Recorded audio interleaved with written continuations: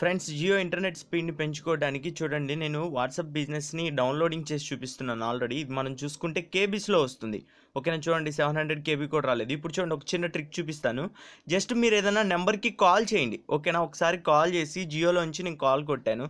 Call కొట్టిన తర్వాత మనం చూసుకుంటే మన నెట్ అనేది స్పీడ్ చాలా వరకు పెరుగుతుంది. చూడండి ఒకసారి త్రీ ఎంబీ దగ్గర నుంచి డైరెక్ట్ ఫోర్ ఎంబీ వచ్చింది. Next five point three MB one point five MB స్పీడ్తో మనకి డౌన్లోడ్ అవ్వటం మనం చూడొచ్చు.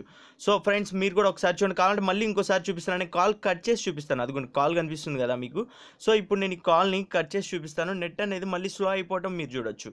అలాగే చూసుకుంటే మళ్ళీ కాల్ చేసి కూడా చూపిస్తాను. అది స్పీడ్ ఎలాగా పెరుగుతుందన్న చూడండి. ఇదిగోండి మళ్ళీ కాల్ కట్ చేసి చూపిస్తున్నాను నేను ఇక్కడ.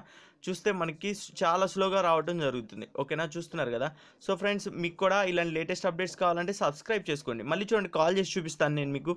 ఒకసారి మళ్ళీ ఇదే నెంబర్కి కాల్ చేసి చూపిస్తే మనకి చాలా వరకు స్పీడ్ రావడం జరుగుతుంది. సో ఈ చిన్న ట్రిక్ని యూస్ చేసి ఎవరైనా ఎప్పుడైనా ఏదైనా డౌన్లోడ్ చేసుకునే వాళ్ళు ఉంటే దాంతో ఏంటంటే మనం చాలా ఈజీగా మన నెట్ స్పీడ్ని పెంచుకోవచ్చు. ఇదిగోండి మళ్ళీ నేను కాల్ చేస్తున్నాను. కాల్ చేస్తే అదిగోండి కాల్ వెళ్తుంది కాల్ కనెక్ట్ అయింది. కనెక్ట్ అవగానే చూడండి twenty two MB twenty three MB. మళ్ళీ చూడండి ఒకసారిగా టోటల్గా డౌన్లోడ్ అయిపోయింది. ఓకేనా? సో ఇంత ఈజీగా చేసుకోవచ్చు అనమాట అలాగే సెట్టింగ్స్ చెబుతాను చూడండి.